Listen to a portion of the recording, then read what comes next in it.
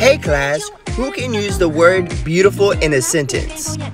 Troy, our teacher is beautiful. Aw, thanks Troy. Who can use the word grade in a sentence? My grade is the best. Good job, Rachel. And Mark, why don't you give it a try? Okay, sure. Use the word dictate in a sentence. Um, oh, yesterday I heard my Uncle Fred tell my mom, How does my Oh, great heavens!